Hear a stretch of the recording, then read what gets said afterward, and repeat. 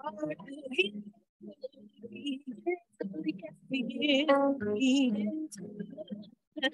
he is. Good. You are good. Yes, you are good. Whoa, you are good. Yes, you are good. One more time. You are good. Yes, you are good. Yes, you are good. Hallelujah. Oh, bless your wonderful name.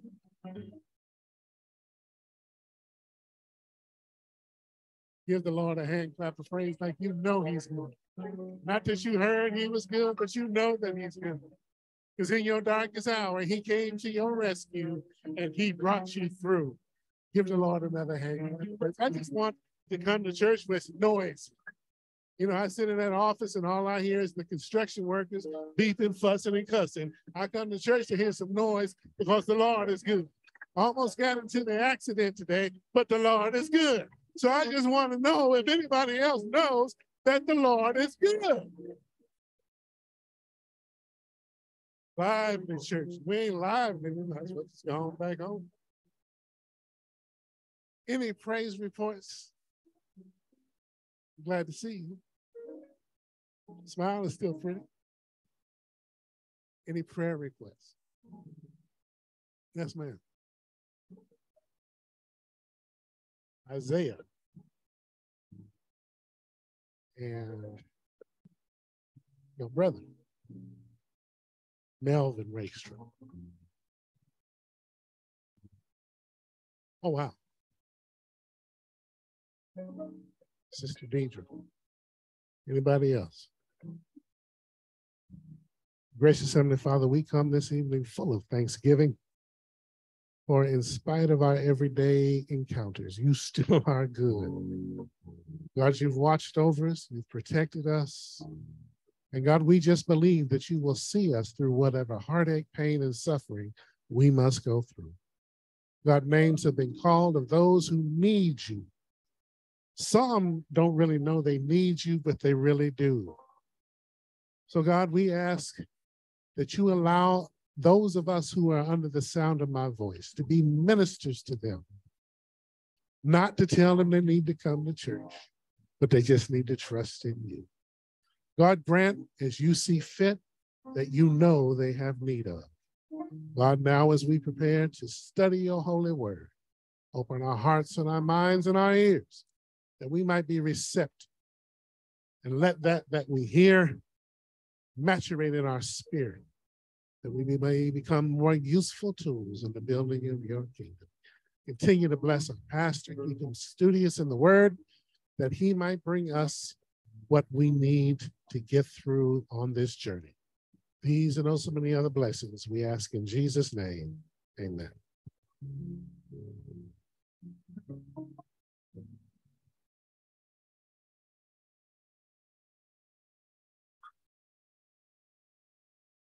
Hand clap of praise. Come on, let's bless him. Let's bless him. Let's bless him. Thank you, Deacon Gates. Thank you, Lady A. Thank you, Isaiah, for setting the atmosphere for our worship on tonight.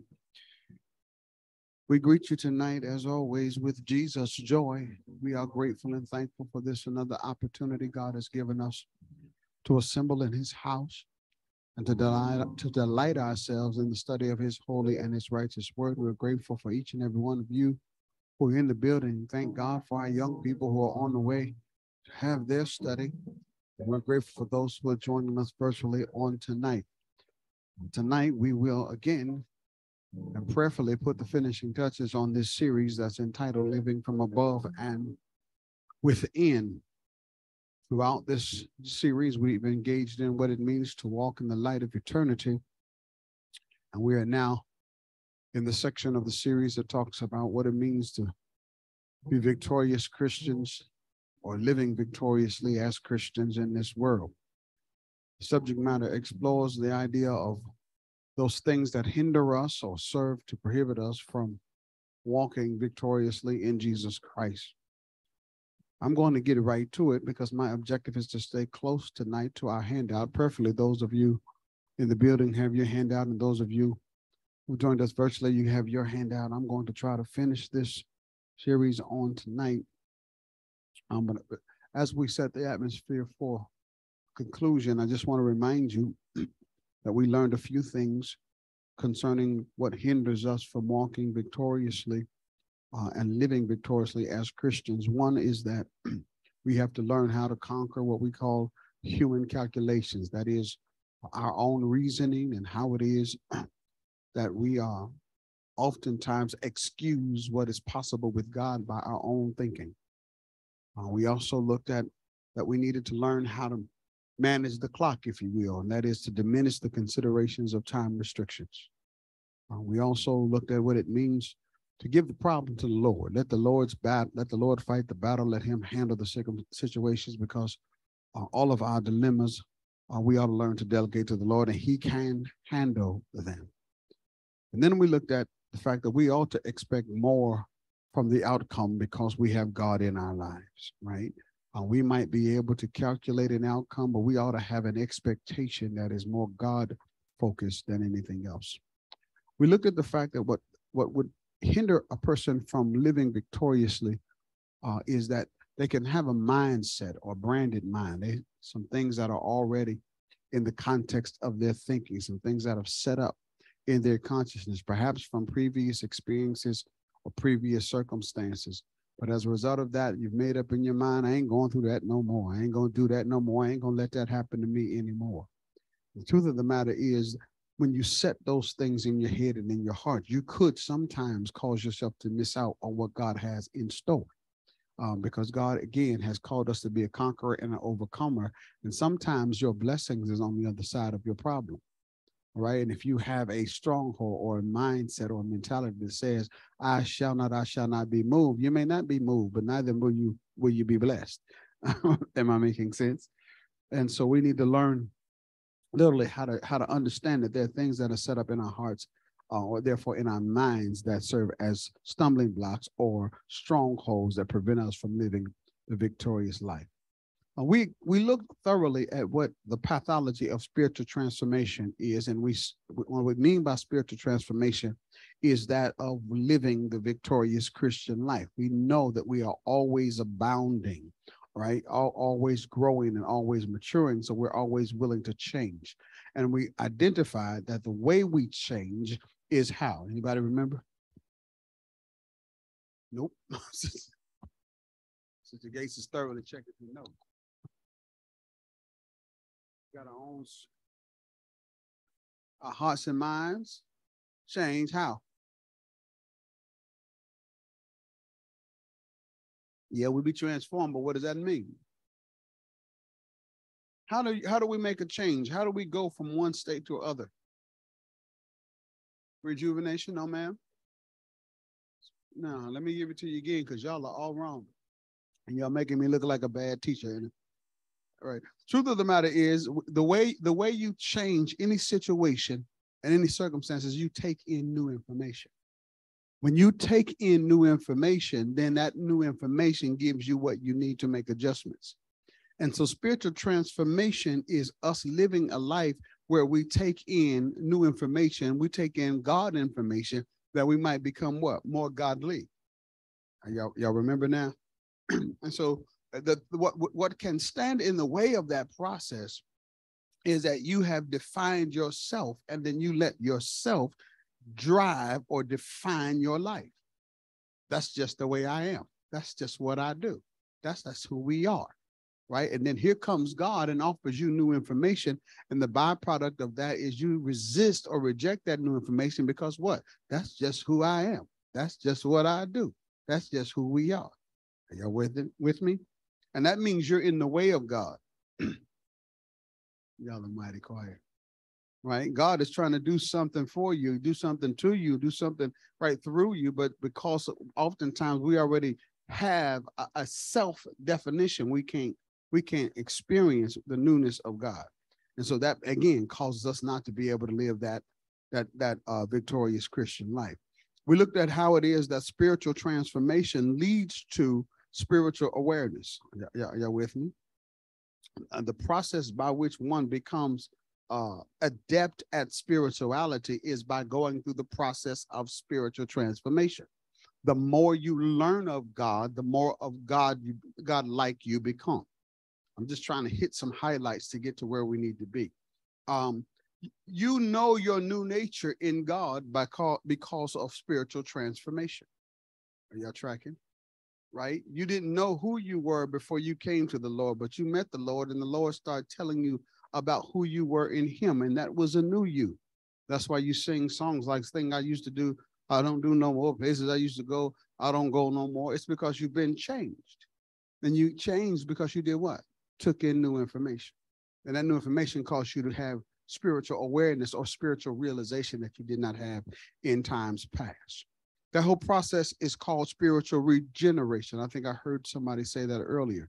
That when you go, when you when you set yourself in the process of spiritual realization, it leads to regeneration. Now, the root word of regeneration is the word gene. I'm going to say it again. The root word of the word regeneration is the word gene. We know the word gene because it's popular to us through the means of genealogy. Genealogy is where we get our identity, or at least it's where we claim it. Y'all stay with me. It's where we claim our identity. And as a result of claiming our identity through genealogy, we oftentimes identify ourselves in context with that genealogy. But if you've been regenerated, are y'all with me? Through spirituality, then now you're beginning to accept a new nature, a new identity in Christ. And, and once you accept the new identity in Christ, it should be Watch this. That that message is sent to your mind and your mind begins to think in accordance with the newness of life. But oftentimes it isn't because our minds are bombarded with things that we have set up as identifying factors of who we are. And so God says to us, You're saved, right? You say, But I'm a sinner. God says that you're blessed. You say, But no, no, I'm struggling. Are, y- are you understanding? And it's all because of the process. We don't understand that the spiritual transformation track. I explained it this way this morning. I think I'll try it again tonight. Um, uh, we were in the airport uh, a, few, a couple of weeks ago. I don't know when it was. We were in the airport, and there's this thing in the airport. I don't even know what it's called. Um, it's not an elevator. It's not an escalator. It kind of looks like it, but you know, people are walking, and if you step up on it, it's moving slowly I- yeah, moving sidewalk. A moving sidewalk is what it's called. Yeah, a moving sidewalk. Well, uh, well, you can walk on it, right? And you move faster than you could if you were walking at a different dimension. Because you stepped up on it, it has with built into it the trajectory of taking you forward. And even while you're going forward, if you stand still, you're still gonna go faster than you did when you were walking. Are you with me on the ground? Well, if you start to walk on it, then you'll walk even faster. Are y'all understanding? That's how transformation, the spiritual transformation occurs in the life of the believer. You step out of the world onto this wa- moving sidewalk. Thank you for educating me. But then watch this. You stand on the moving sidewalk and you go further than you were going when you were walking. But then while you're on it, you realize I haven't lost the ability to walk. I can walk even though this is moving. So now I start to work with the with the elevator and I move fast. I move faster, right? And I go further. Y'all understand what I'm teaching? That's spiritual regeneration, right? So now you become aware of things that from a spiritual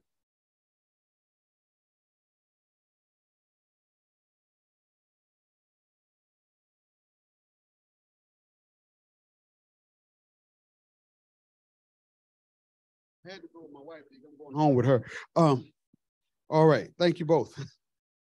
Uh, and so spiritual, so we got spiritual regeneration, uh, and spiritual regeneration is the spiritual transformation within a person and brought about by the Holy Spirit. It's important for us to understand that the agent or the person that's at work in our lives bringing about spiritual regeneration is the Holy Spirit.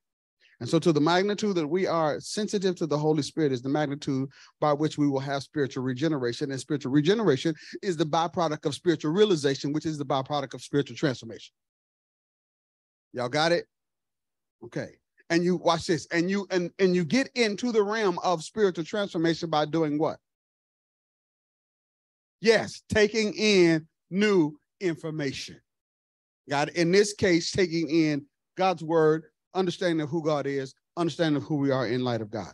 All right. Um, and then once we understand that, we land in the realm of spiritual manifestation. This is where we kind of got caught up this morning in our dialogue because we need to understand the difference between spiritual manifestation and watch this and trying to manufacture spirituality. Are y'all with me? There's a difference between manifestation and manufacturing. Most of what we do in the church falls under the banner of manufacturing. Are y'all with me?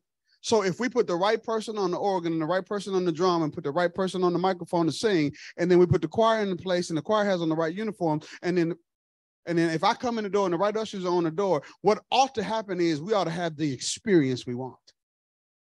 That's the attempt to manufacture. Exactly. Because we have put things in place that we believe are going to bring about the result of what we need. But the reality is, is what we have to learn to do. Watch this is trust the Holy Spirit that the Holy Spirit lead and guide. And in order for the Holy Spirit to lead and guide, the Holy Spirit needs people who are willing to take in new information. People who are willing to go through spiritual transformation to such a regard that they are able to do what? To let the Spirit do what the Spirit desires to do. But most times we don't do that. I'm, I'm trying to right? So we don't get the Spirit's product in our lives. I was talking uh, this morning, teaching this morning, and I referenced what happened in our worship service on Sunday, right? I went back and I looked at it, and, and there were certain things that I believe happened, and they didn't happen when we got here. They happened before we got here because there were dispositions where people said, you know what, I'm yielding to that. I'm letting that go. I'm letting um, and so when we came in, the spirit was able to work in places and in people who had given themselves over to whatever the spirit wanted to do. And watch this. And once that happened, the spirit took over. Are you understanding? You see, let me let me let me talk more personal about this. I know that young man that's on the organ. I seeded him to life. I know him. But when I looked over at him, I recognized something was going over there that had nothing to do with me. Y'all are mighty quiet because I understand the natural, but I also saw the spiritual. And so, even watch this, and even sometime when we are trying to get into, right, the nat when we're trying to manufacture, God will say, listen, that's not going to work. I'm going to disrupt your program. I'm going to mess up your agenda. I know I'm I'm gonna get a little preachy here, but y'all let just, just just work with me. All right. I know, Sister Harden, you printed all third shift. all right. But I don't care what is on the order of service. God has an agenda and he overrides. Now we say stuff like that in churchdom and in religiondom, but the reality is we don't believe that because we don't yield to the work of the Holy Spirit. Because we're programmed. We're rigid, right? And, and more importantly, we're not sensitive to the work of the Holy Spirit. That's why in the final session of this teaching, I want to talk about living life by the Spirit. Living life by the Spirit. And it's going it's going to be uncomfortable for some. Right? Why? Because we don't we've not been we've not been forced into this type of consideration. But again, spiritual transformation requires, right, that you're willing to do what? Yield, take in new information. So you got your hand out. I'm gonna stay real close to it. I'm gonna walk it because I want to finish it. And I'm only gonna stop to respond to questions, but make sure your questions are in line with what we're talking about. All right? Y'all ain't saying that. I'm not telling you don't ask questions. Please ask questions if you have them. All right. So living life by the Spirit. If you live on earth, you're going to be in daily tensions with sinful flesh. It is unavoidable right? Now we looked at Romans 7 and verses 15 through 25. Let me refresh your memory. Uh, it says this For that which I do, I allow not. For what I would, that do I not. But what I hate, that do I. If then I do that which I would not, I consent unto the law that it is good. Now then, it is no more I that what? That do it, but sin that dwelleth in me.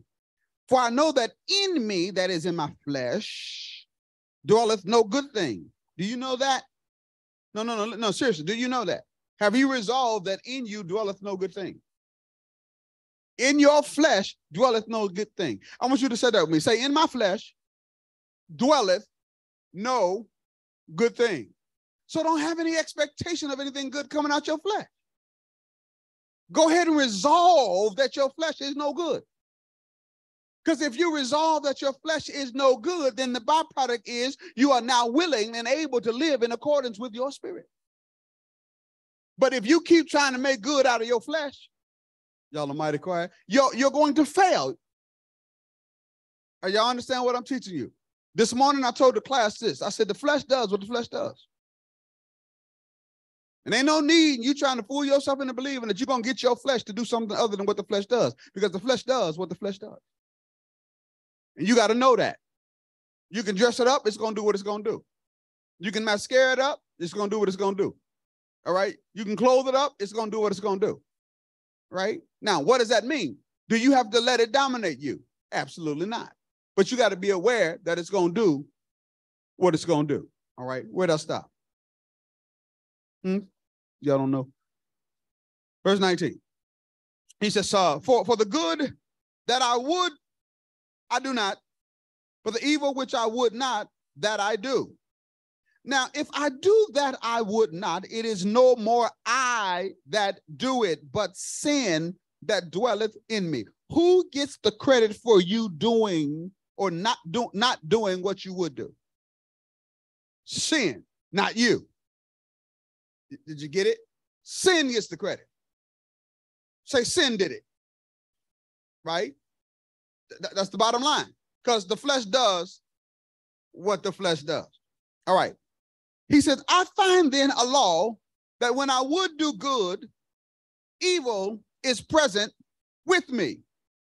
For I delight in the law of God after the inward man. I want you to get that. That's what we're talking about doing. Delighting in the law of what?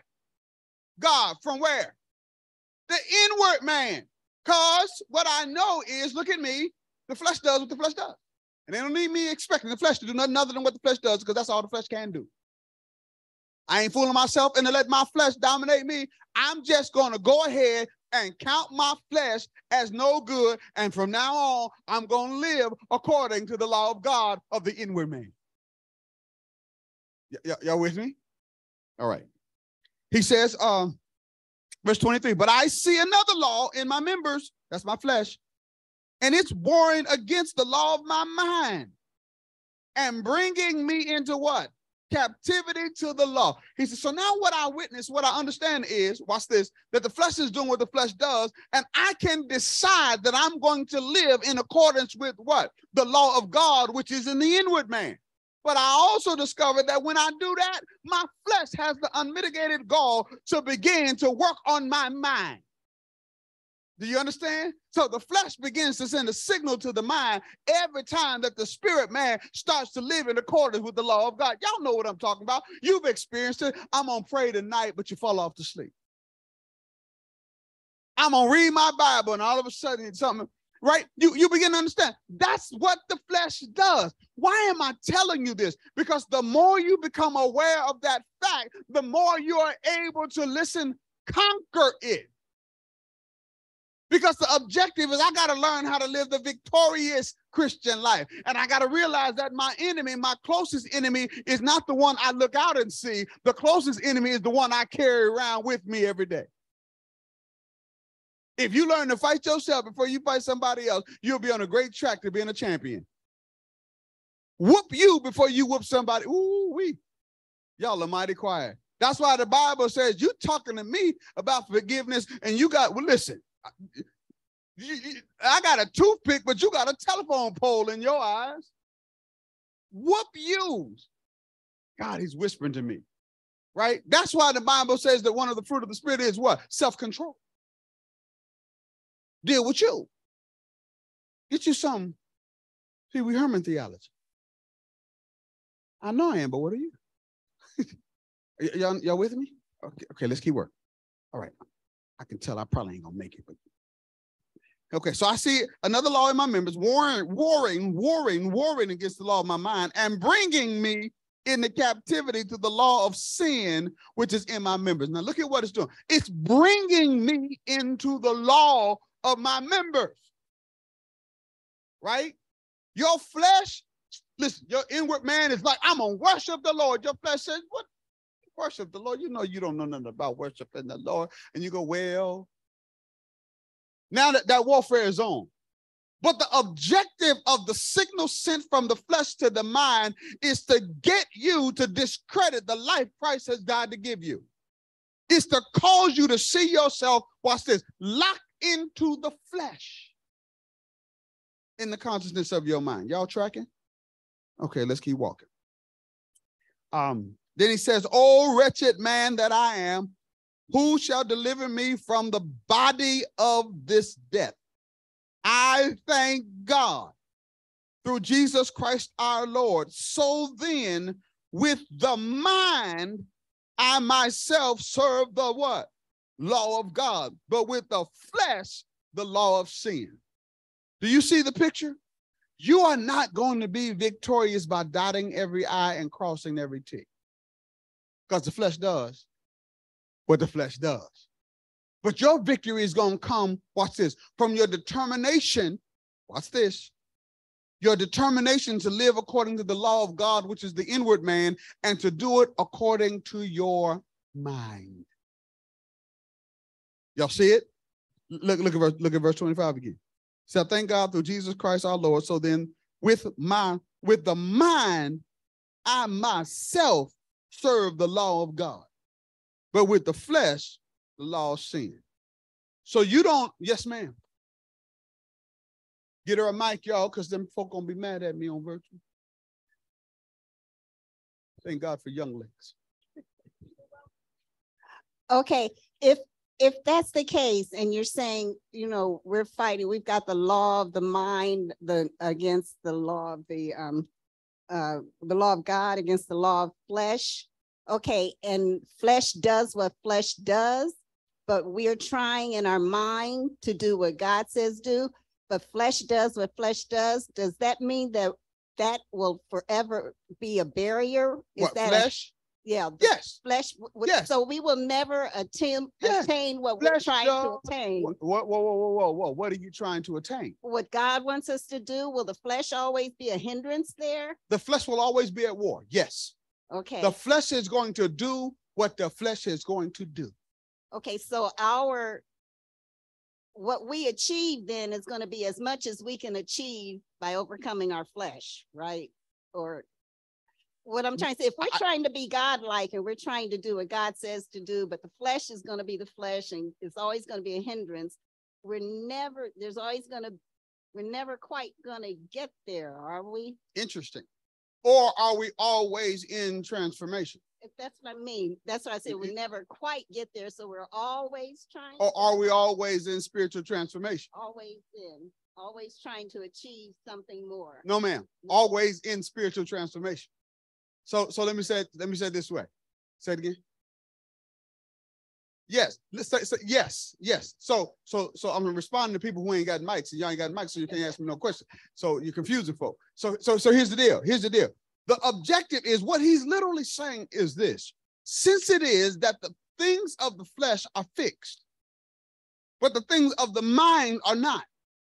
The place of the influence, the fixed flesh attempts to influence the mind. But you can decide that you're going to live in accordance with the law of God, which is in the inward part, which is the spirit, spirituality, right? Which means you nullify the flesh. Now, the flesh is going to do what the flesh is going to do. But you start living victoriously when you minimize the impact of the flesh's objective. And it starts, first of all, with a mental disposition to say, I, I don't care what you say, flesh.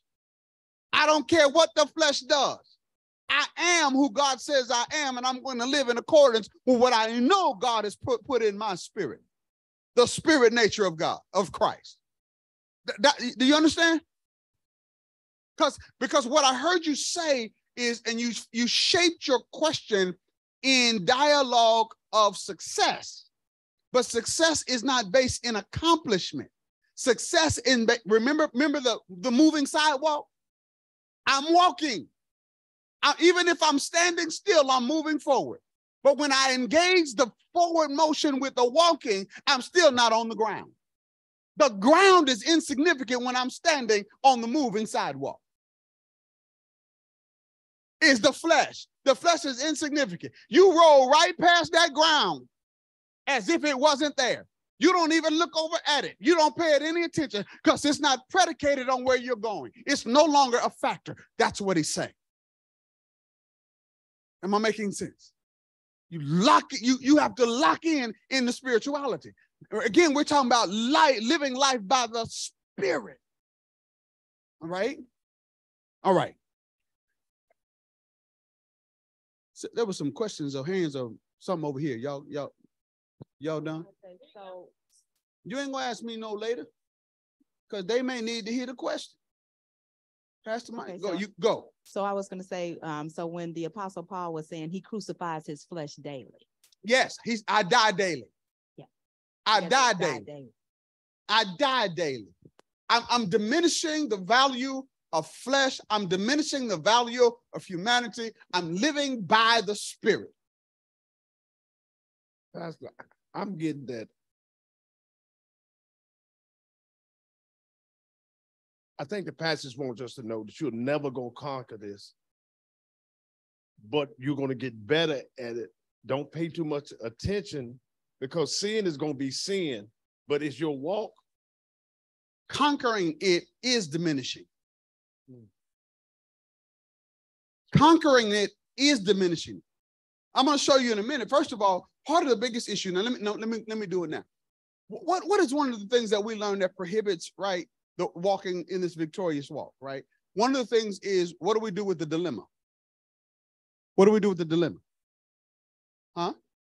Say, we give it to the Lord. We under we, we delegate the dilemma to the Lord, right?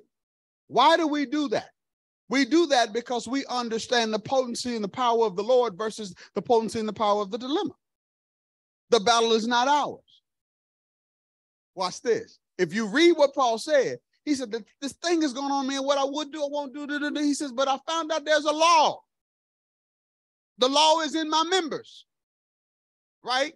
And the law is in my flesh and it's warring against the law of God in my inward part. Who's the battle? Whose battle is it? It's not yours.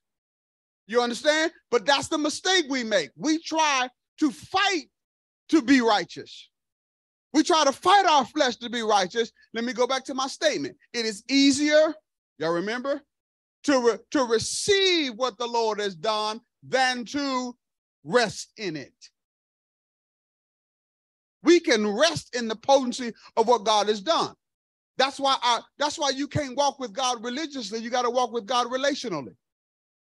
Because religiously, you're going to try to dot the I's and cross the T's. That's what I heard as the undergirding of your question. We're never going to get there. We're never going to be perfect. No, no, you're going to be perfect, but it's not going to be because you do it. It's because you rest in what God has done and you stay on that walking sidewalk, that moving sidewalk, and you let that perfection come about. Does that make sense? All right. Y'all a good class tonight. I don't know, how, I'm gonna get finished, but y'all a good class tonight. Are there any questions, Gio, on from our virtual audience? All right, thank you, sir. All right, um, so let's pick this up. Let's go over to okay, let's just stay with our text. So the good news is I'm under Romans 7, 15, 25. The good news is that despite the tension with the desires of the flesh, you do not have to be defeated by them. God promises that when you live by the Spirit, you will not gratify the desires of the sinful nature. Did y'all get that? It's it's one or the other. If you live in accordance to the flesh, you're going to have to deal with the things of the flesh. But if you live in accordance with the spirit, it nullifies the work of the flesh. Flesh going to do what the flesh going to do. But that ain't got nothing to do with what you do. Got it? All right, let's keep working. Um, let's go over to Galatians chapter 5. Lady, you got your mic? All right. You said that like you so soft spoken. I need you to. Mary, you got a mic? She, she, she y'all saved because I was getting ready to get her. All right, Galatians chapter 5. Somebody read verses 16 and 17. Lady, you got it? Go ahead and read that. This I say then, walk in the spirit, And ye shall not fulfill the lust of the flesh. For the flesh lusteth against the spirit, and the spirit against the flesh. Mm. And these are contrary the one to the other, so that ye cannot do the things that ye would. All right. Now, this is not information, this is strategy. Did you hear what I said? This is not information, it is strategy. It is teaching us how to conquer the flesh. And it's very simple. It's very simple. If you're going to go out that door, right, you got to go that way. If you're going to come in that in the sanctuary, you got to come this way. If you're going to listen, fulfill the lust of the flesh, you know you're walking according to the flesh. But if you're not going, if you don't want to do that, you got to walk what?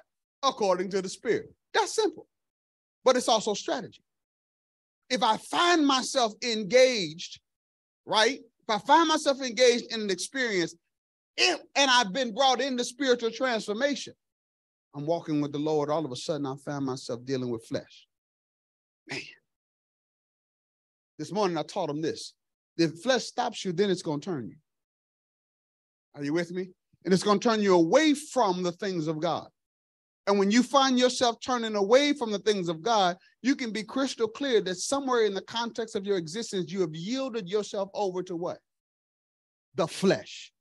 Because you are walking after the flesh. Because you can't walk after the flesh and the spirit at the same time. You see the strategy? So what's the what's the victory? If I find myself doing this and I'm turned, what, what am I to do? Exactly. My fight is to recognize, oh, flesh got me. And so now I'm, that's my objective. And how do I change? Yes, sir. I take in new information. I don't have to just go, he stopped me. He's turning me. No, what I do is I'm going in a direction I don't want to go. How do I go in the direction I want to go? I start seeking what? Information to put me back in line with my spiritual walk. Ooh, wee. You're tracking me? All right.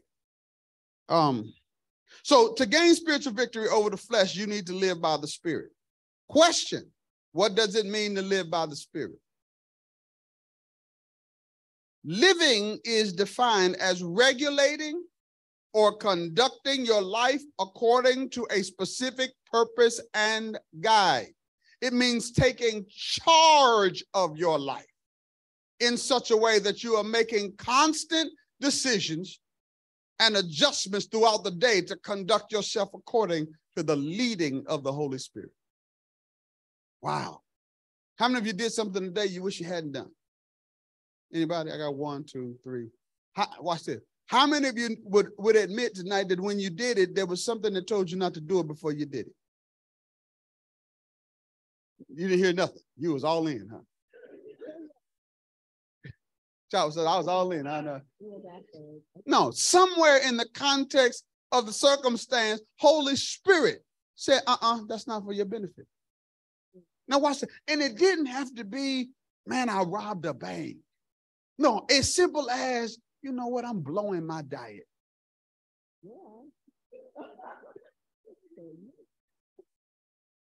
Are y'all understanding? I know I shouldn't be eating this, but, right? Are, are y'all understanding what I'm teaching? Right now, now, how do I adjust to that situation? Right? My wife came in here. There was there was three packs, two packs left, three packs of candy bars. They're gone. I gave them away. I moved them for the second class. Right? I wasn't going to see them twice. All right. I adjusted my position. Found somebody else who would eat. I took in new information. Y'all so silly. Come on. All right. So, how does the Holy Spirit lead? How, how, do, how do you know what the Spirit wants you to do, right? One, Holy Spirit uses God's truth, the scriptures.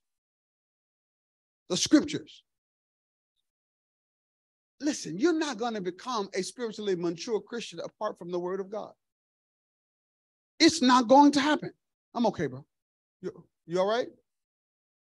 You good? Okay. Uh, It's, it's not going to happen, right? People who do not make, have a high priority for the scriptures are somebody who will never live spiritually, right? Will never live out their spiritual truth either. They're God truth. All right, that, that's important. So the Holy Spirit uses God's God's truth. Uh, John 16, 13. Somebody have that? Read it for us.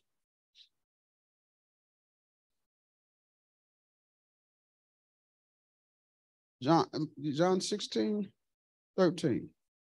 Howbeit, when he, the Spirit of truth, is come, he will guide you into all truth.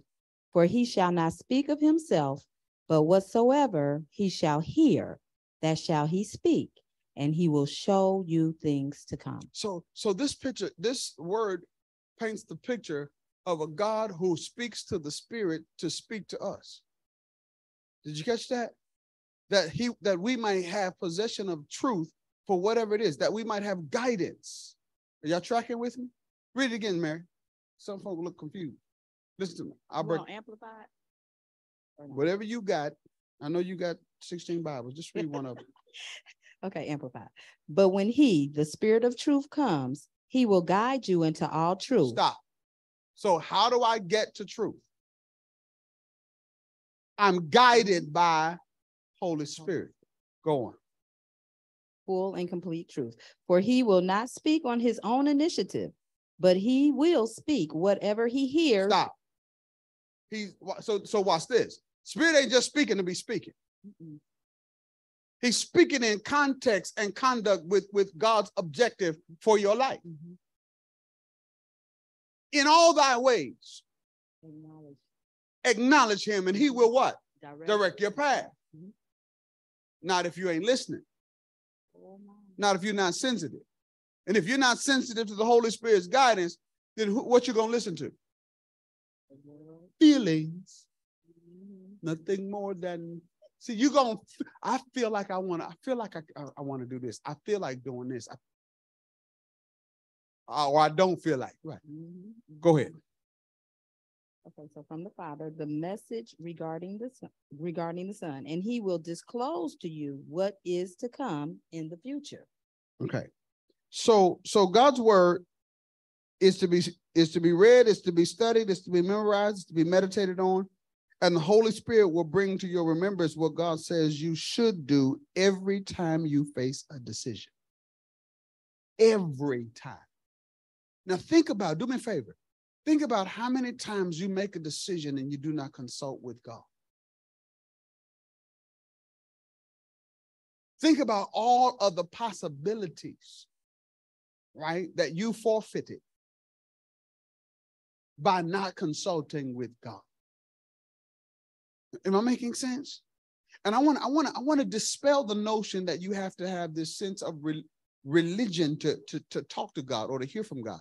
That's not what i mean. But you can stop in the middle of your work day. Say god show me show me what to do here. It's that simple right? And god says because you are seeking him. Y'all are mighty quiet. He will abound toward you in what you need. You don't have to rely on your feelings. You can trust that God will speak to you because you have turned yourself toward Him and He has obligated Himself to lead and guide you. That's what living according to the Spirit, or living by the Spirit is, is, is like. Right? Um, let me keep running. Yo, any questions, thoughts, reflections? Let's keep moving. So God's promise to the children of Israel stands as God's promise to us today. Isaiah chapter 30, verse 21. Let's go there. Everybody turn there. Lady, are you there? I figured you was. She's so she's always prepared. She, she head of the game. Go ahead and read it then, since you did.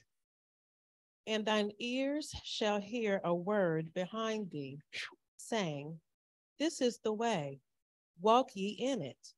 When ye turn to the right hand, and when ye turn to the left. Wow. This is a promise that came to the children of Israel, right?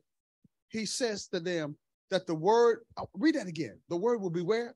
Watch, check the disposition. and thine ears shall hear a word behind thee, behind thee. saying, This is the way, walk ye in it. And ye, when ye turn to the right hand, and when ye turn to the left. Here. Now check this. Uh, uh, uh. No. Walk that way. Straight. Turn around.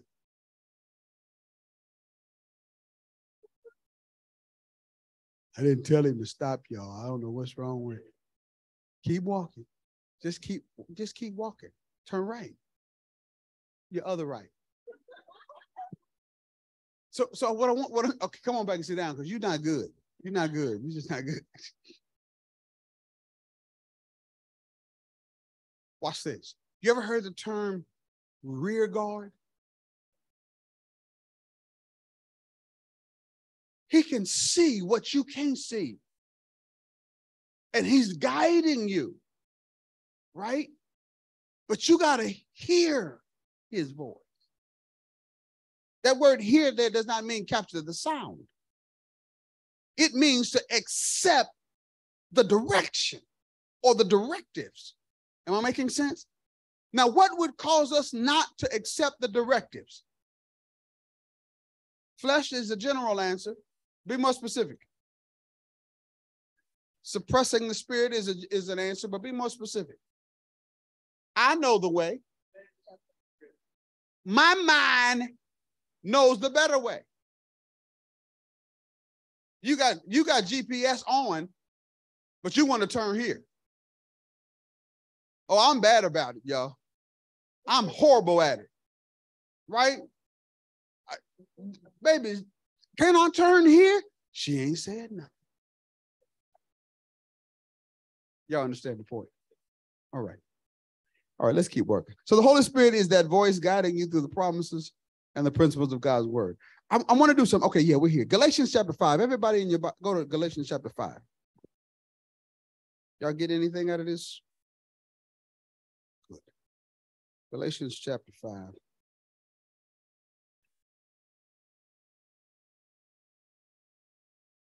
I don't know why I do that. And I put all three of the translations that I want you to look at in your handout, but I'll just tell you to go anyway.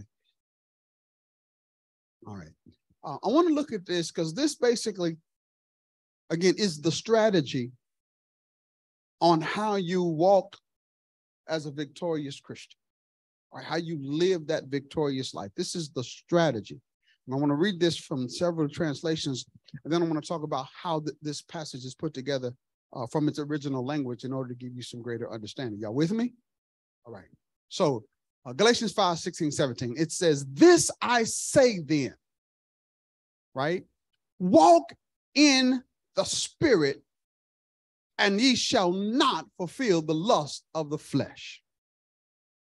For the flesh lusteth against the spirit, and the spirit against the flesh. And these are contrary one to the other, so that ye cannot do the things that ye would do. You got that? Now, but what if you want to do the thing you need to do? How do I conquer that?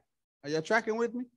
First, you understand what's preventing you from doing it. You identify that the flesh does what the flesh does. Does that make sense? All right. I want you to listen to this uh, in the Amplified. I'm sure Mary has already read it. She says, But I say, walk habitually in the Holy Spirit. notice walk in the Spirit is amplified by habitually. You with me? Seek him and be responsive to his guidance. And then you will certainly not carry out the desire of the sinful nature, which responds impulsively without regard of God and his precepts. So now we've got a description of the flesh. It acts impulsively and without regard to God's purposes and God's precepts. The flesh is going to do what the flesh is going to do. What is that? No, what is that according to Amplified? What is the flesh going to do? No. It how about you just read what I just read to you? Give back to the teacher what the teacher gave to you, and you will pass the test. The flesh is going to do what? Walk how? Listen, impulsively without regard for God and his precepts.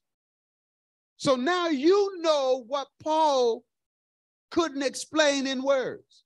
All Paul said is, I know this. I get ready to do one thing, I don't do that. Why, Paul? Because the Amplified teaches us that the flesh does what the flesh does, which is act impulsively and without regard to the precepts and the principles of God. Are y'all with me? Okay. All right, y'all getting slow because we're getting later. Come on, rub your temple, rub your temple. All right, now watch this. Verse 17. For the sinful nature has its desire, which is opposed to the spirit, and the desire of the spirit opposes the sinful nature. Listen, seeing got flesh got a problem with the spirit, so what? Spirit got a problem with the flesh too. Y'all got it? If you got a spirit that don't have a problem with the flesh, it ain't the Holy Spirit. Are y'all understanding me? It could be your spirit, it could be the devil's spirit, but it ain't the Holy Spirit. All right. The Holy Spirit never sides with flesh. All right. For these two, the sinful nature and the spirit nature, are in direct opposition to each other, continually in conflict. Did, did you check? Did you catch that? Watch this. Continually in conflict. It's just, just hard. I want you to hear this because it doesn't matter where you are on the trajectory of spiritual transformation it's still you, your flesh, and your spirit, man. And that's going to continually be a battle. That's why I said we are continually in what? Spiritual transformation until we are changed. Right? When we are changed and we now have the nature of the spirit man, we will no longer be in that. But as long as we're here, we're going to always be in that tension. That tension will be there. It's like it's like arthritis. It's there. I got some witnesses. All right. Okay, let me keep moving.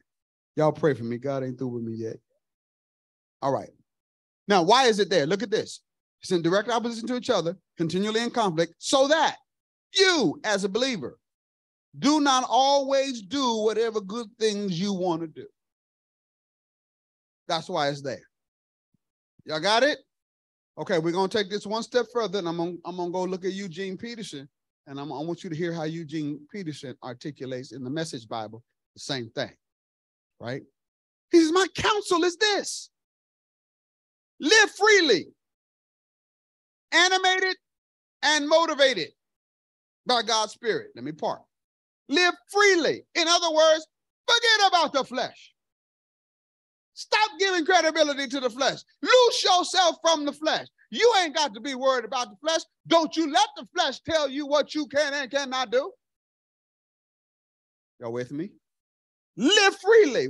For where the Spirit of the Lord is, there is liberty. Animated. Another word for animated is inaction. Let your action be what? Stimulated by the Spirit. Does that make sense? Do what the Spirit says do. Am, am I making sense?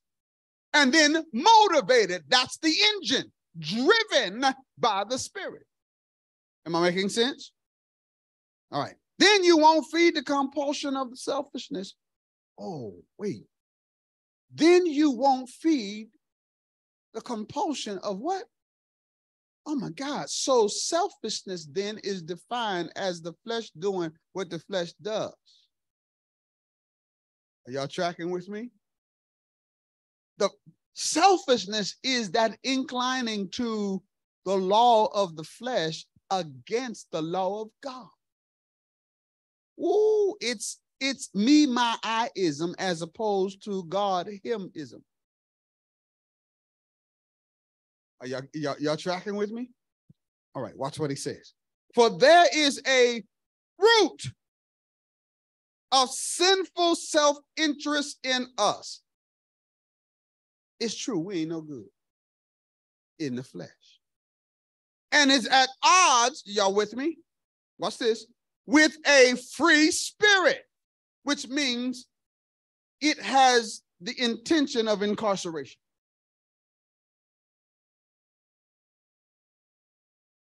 Just as the free spirit is incompatible with selfishness. These two are, are ways of life are antithetical so that you cannot live at times one way and at times another way according to how you feel on any given day. so now what's been removed from you is you being able to say, I don't feel like it.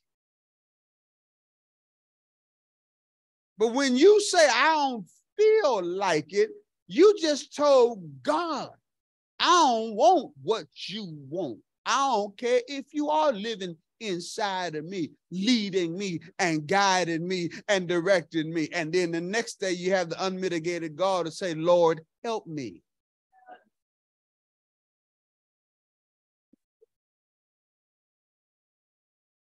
Y'all still here?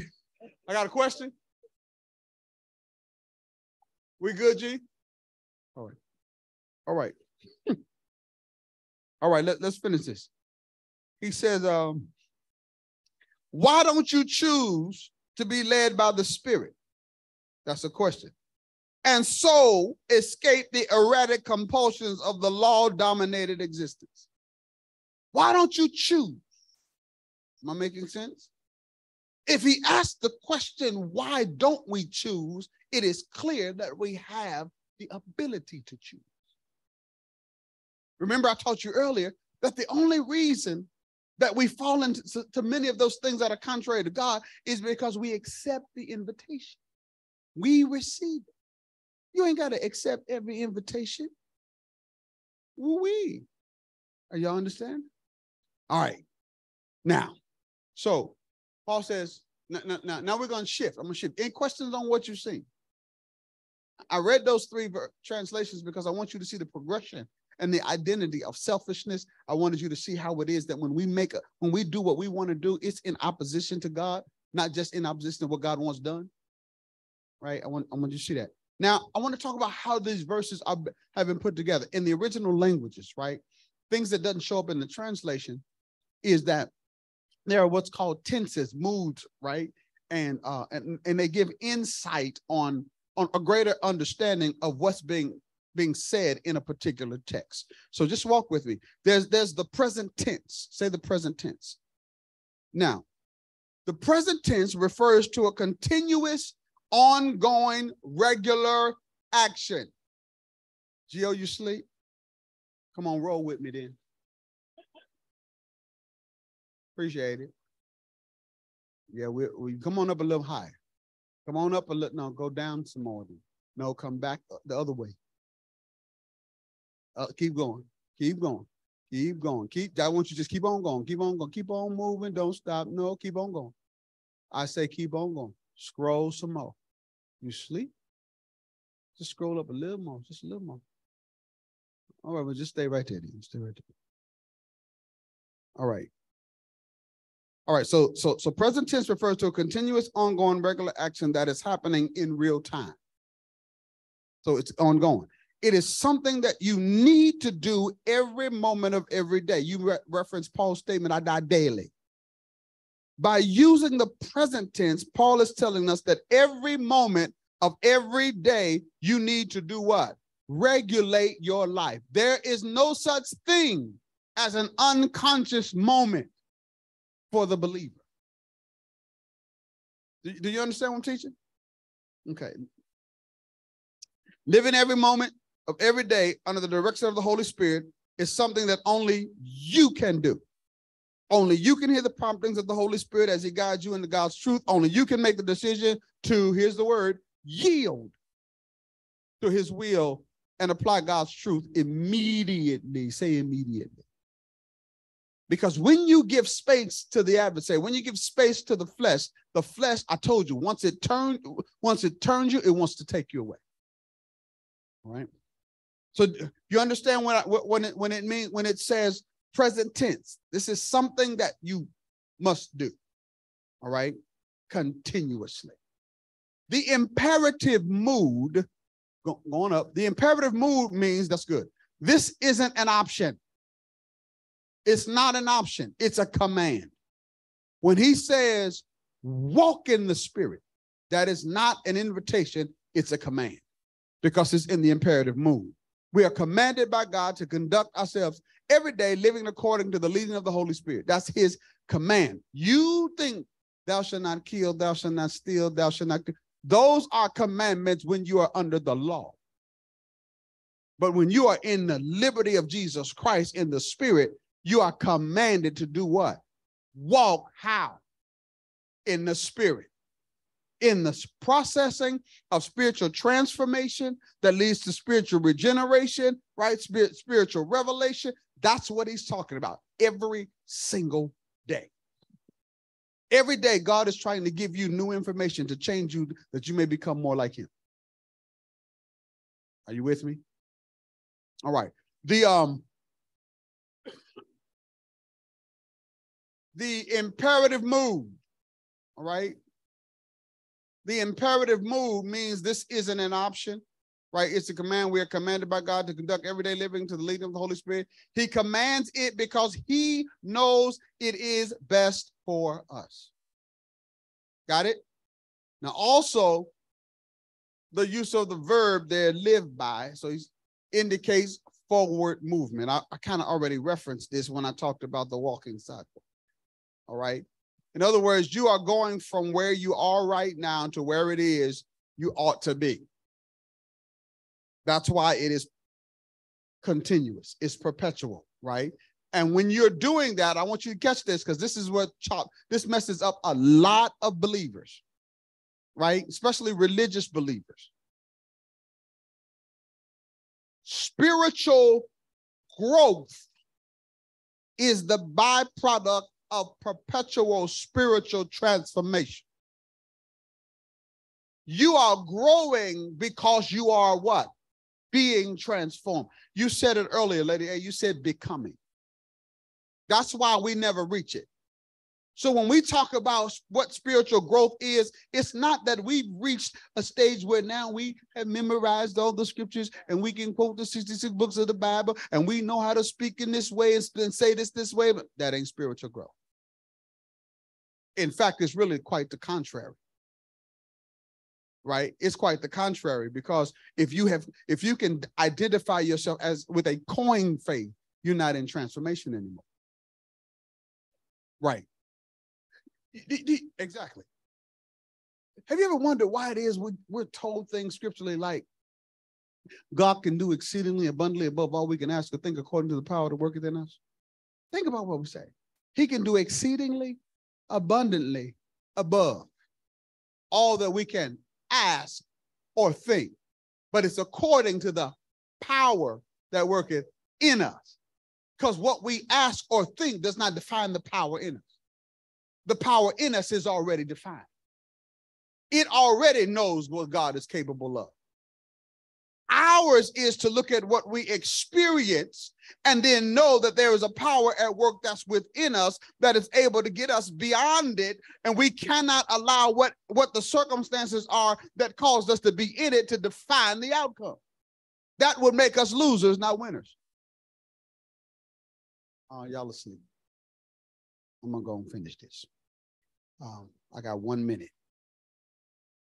Um, in other words, you're going from where you are right now to where you ought to be. This is spiritual growth. Only as you submit your life to the what? Spirit's control. Will you move forward, growing spiritually and victoriously in your Christian life? So there is no victorious Christian living without spiritual transformation. It, it, it's just not possible. You can you may become the greatest icon of religious practice. You got me? You you you might be, and I ain't, I ain't gonna pick on nobody, but you might be, you may get the award for being the greatest, you fill in the blank religiously. But it won't be spiritual growth, and it won't be victorious living. All right. All right. So the victoria, this is a summary statement. The, the victorious life of a Christian is lived out. I want you to catch this step by step with the Holy Spirit, moving you from where you are to where God is leading you, where He wants you to be, where He wants you to be, where He wants you to be. All right. The Holy Spirit is the guide. This is exactly why Paul said that when you live by the Spirit, you will not gratify the sin desires of the flesh. The fact is, you cannot live the Christian life by your own strength or resources any more than you can save yourself for, for, for eternity. So victorious Christian spiritual, victorious Christian living is spiritual living, and spiritual living, watch this, is worship full life living. I want you to catch that last statement. It is worshipful life living, Giovanni. It is the last line on the page that they're trying to read that they can't see. That's the one. Spiritual living is worshipful life living. Are y'all, are y'all getting it? Right? Now, the next series or teaching, I better say teaching because I don't know if I'm do series, will be talking about a worshipful life. But you can figure it out because the worshipful life is the life where you are living in accordance with what God has purposed you to do. It's the woman at the well. Remember? That sister was living a life. The discussion at the well that Jesus had to get to was to help her to understand that her view of worship was wrong. she thought worship was what took place in a mountain. And she learned that from her fathers, historical patriarchs. Are you hearing me? But what she discovered was that ain't what happened. That ain't what real worship was. Because Jesus said, Woman, there's coming day when worship, right? How? They that worship me must worship me in spirit and in truth. Right? All righty. I appreciate your attentiveness tonight. I thank you for tracking with me and letting me get through this. I just kind of felt like we've been in it way too long. It was supposed to be a two week lesson that turned into a what, four week lesson? That's because y'all a good class and y'all ask good questions. Are there any questions, any comments, any reflections? Any? Seeing none, Geo, are we good virtually? Right. I don't even think you be talking to them people. You just don't be left giving them a chance to ask no questions. You be answering me too fast. all right, all right. Um, I think there are no announcements. Uh, yeah. Yes, ma'am.